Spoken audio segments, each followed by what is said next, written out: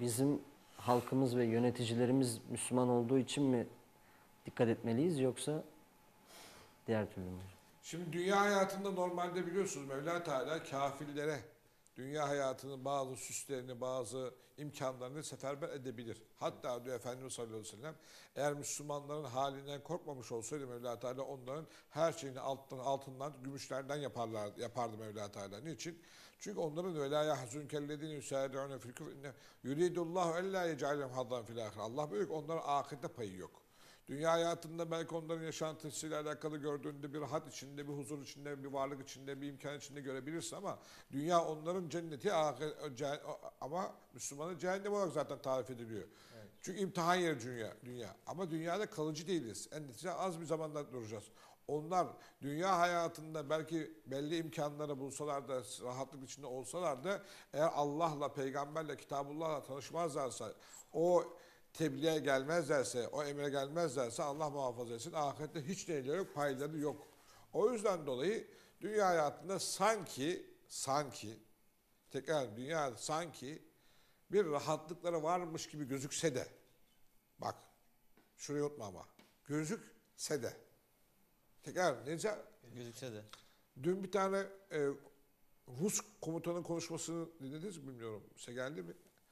Rus konuşma konuşması diyor ki onlar diyor Müslüman bizi tarif ediyor. Müslümanları tarif ediyor. Müslümanların diyor dünya hayatıyla alakalı şöyle bir düşünceleri vardı. Ölüm veya yaşanmaları diyor çok diye onların için ne değil diyor. Değişmiyor diyor yani.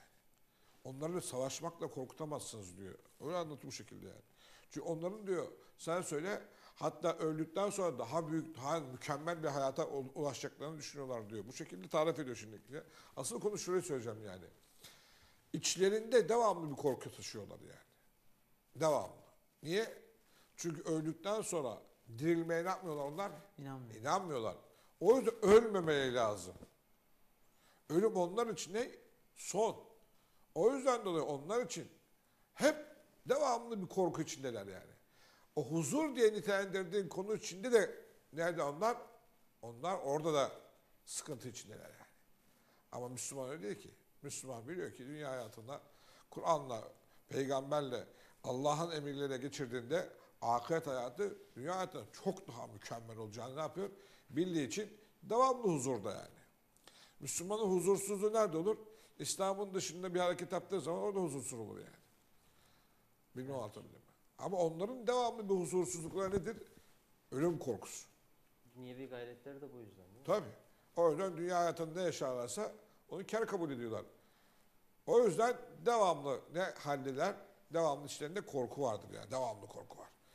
O yüzden huzur yine onlarda olmaz, mümkün değil.